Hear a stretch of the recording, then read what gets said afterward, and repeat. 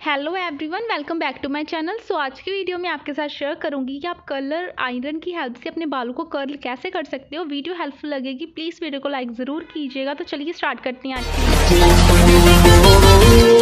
की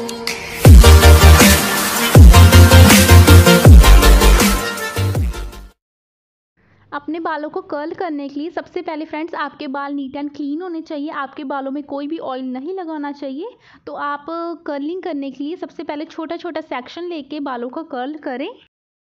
तो यहाँ पे मैं नीचे की तरफ़ ही कर्ल्स डालूँगी। आप चाहे तो ऊपर की तरफ़ से भी कर्ल डाल सकते हो। मुझे जस्ट वेवी वेवी हेयर्स ही चाहिए थे। ज़्यादा मुझे कर्ल्स नहीं चाहिए थे।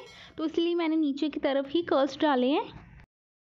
कर्ल करना फ्रेंड्स काफ़ी ज़्यादा इजी है। आप स्ट्रेटनर की हेल्प से भी कर्ल कर सकते हो। आप कलर की हेल्प से भी कर्ल कर सकते हो। मेरे घर के पास पार्लर है फेस एंड ग्रेस वहाँ से मैंने कर्ल्स डलवाए हैं। वहाँ से मैंने ये कटिंग भी करवाई है। इसकी वीडियो भी मैं आपके साथ ज़रूर शेयर करूँगी। अगर आप उनसे कोई भी हेयर स्टाइल या हेयर कटिंग या कुछ भी करवाना चाहते हो तो मैं डिस्क्रिप्शन बॉक्स में उनका नंबर दे दूँगी। फ्रेंड्स हाँ। इस पार्लर की जो सर्विसेज़ हैं, वो काफ़ी ज़रा अच्छी हैं और इनका जो प्राइस है, वो भी काफ़ी ज़्यादा रीज़नेबल है। कर्ल्स करना फ्रेंड्स काफ़ी ज़्यादा इजी है। आप स्ट्रेटनर की हेल्प से भी कर्ल कर सकते हो बट यहाँ पे कलर का यूज़ किया उन्होंने। आपको नीचे की तरफ़ से थोड़ा सा सेक्शन लेना है। जो कलर मशीन है, उसमें थोड़ा सा आपको बालों को फोल्ड करते जाना है और 15 टू 20 सेकंड्स के लिए रखना है तो काफ़ी इजी से आपके बाल कर्ल हो जाएँगे इससे। अगर आपके बाल इतने ज़्यादा स्ट्रेट नहीं है तो आपके बहुत ज़्यादा जल्दी कर्ल्स हो जाएँगे बट मेरे बाल काफ़ी ज़्यादा स्ट्रेट हैं। इस पार्लर की सर्विसेज़ फ्रेंड्स काफ़ी ज़रा अच्छी है। मैंने यहाँ से कटिंग भी करवाई है, वो भी वीडियो में आपके साथ ज़रूर शेयर करूँगी। तो आप देख सकते हो, उन्होंने थोड़ा सा सेक्शन लिया है नीचे की तरफ़ से, और कलर में इस तरीके से फोल्ड कर रहे हैं, और 15 टू 20 सेकंड्स के लिए आप रखें तो काफ़ी अच्छे से आपके बाल कर्ल हो जाएँगे। अगर आप पार्टी फ़ंक्शंस में जाते हो तो कर्ल्स काफ़ी ज़्यादा अच्छे लगते हैं फ्रेंड्स स्ट्रेटनिंग से ज़्यादा कर्ल्स अच्छे लगते हैं। अगर आपके बाल कर्ली भी हैं तो कर्ली बालों पे भी कर्ल्स काफ़ी ज़रा अच्छे लगेंगे और स्ट्रेट बालों पे भी काफ़ी ज़रा अच्छे लगेंगे। तो फ्रेंड्स आप देख सकते हो कर्ल्स करना कितना ज़रा ईजी है। Just fifteen to twenty seconds ही लगते हैं तो आपके बाल ईजिली कर्ल हो जाते हैं। आप उनका मेथड देख सकते हो। कितने ज़्यादा प्यारे कर्ल्स लग रहे हैं। फ्रेंड्स, मेरे बाल नेचुरली काफ़ी ज़रा स्ट्रेट है। मैंने कभी भी स्ट्रेटनिंग कर्लिंग नहीं करवाई है। मैं जस्ट वैसे ही वीडियो बनाने के कारण ही कर्ल्स करवा रही हूँ। अगर आप उनसे हेयर कटिंग हेयर कलरिंग कुछ भी करवाना चाहते हो तो मैं डिस्क्रिप्शन बॉक्स में उनका नंबर दे दूँगी।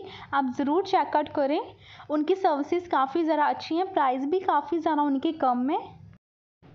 तो फ्रेंड्स, आप देख सकते हो कितना ज़रा इजी है कर्ल्स करना। अगर आप हेयर स्पा या हेयर कलरिंग भी करवाना चाहते हो तो आप उनसे कॉन्टैक्ट कर सकते हो। तो आप देख सकते हो फिफ्टीन टू 20 सेकंड्स के लिए आपको अपने बालों को फोल्ड करके रखना पड़ता है। तो काफ़ी ज़रा ईजिली कर्ल्स हो जाते हैं।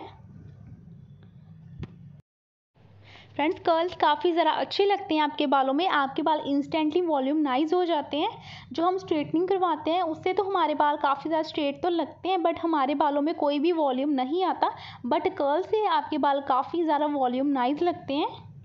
आपके बालों में एक नेचुरल सा वॉल्यूम आ जाता है। काफ़ी ज़रा अच्छे लगते हैं आपके बाल। अगर आप पार्टी वगैरह में जाते हो तो आप कर्ल्स ज़रूर ट्राई करें। काफ़ी अच्छा इसका लुक आता है। आपके बाल काफ़ी ज़्यादा शाइनिंग भी शाइनी भी लगते हैं।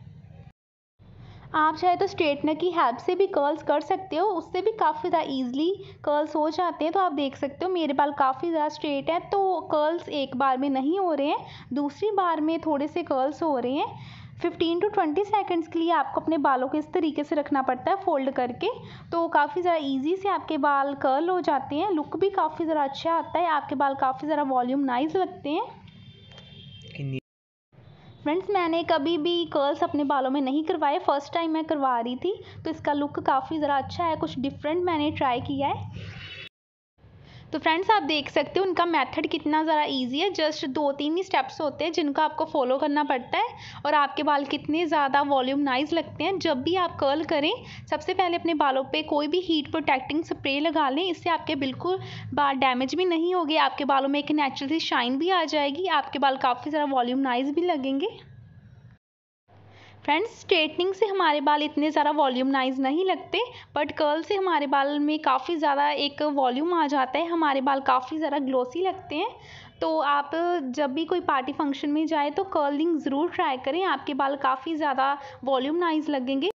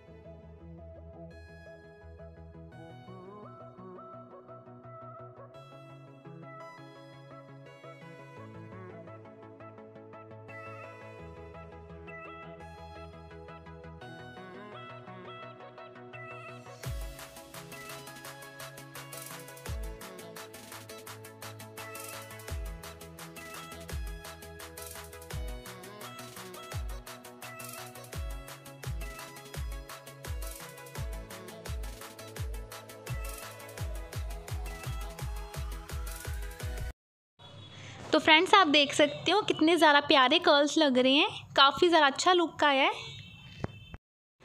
आप चाहें तो ऊपर की तरफ़ से भी कर्ल्स डलवा सकते हो बट मैंने नीचे की तरफ़ से ही कर्ल्स डलवाए हैं। इससे भी काफ़ी ज़्यादा अच्छा लुक आता है।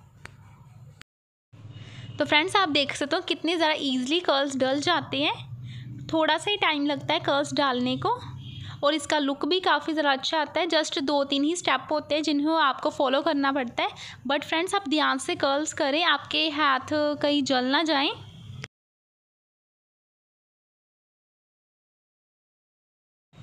तो फ्रेंड्स आप देख सकते हो फाइनल लुक कितना ज़रा अच्छा आया है। उन्होंने मेरे कर्ल्स थोड़े से खोल दिए हैं। इससे काफ़ी ज़रा मैसी भी लुक आया है और मेरे हेयर्स काफ़ी ज़रा वॉल्यूमनाइज भी लग रहे हैं।